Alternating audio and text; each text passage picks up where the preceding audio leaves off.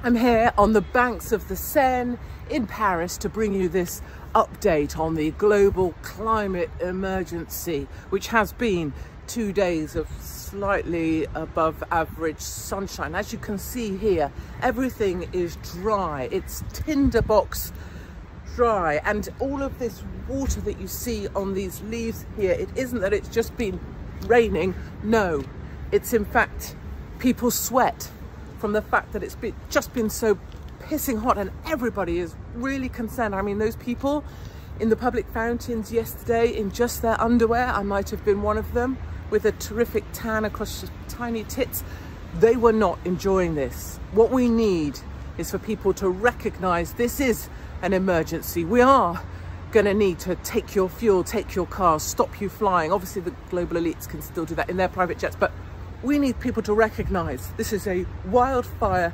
catastrophe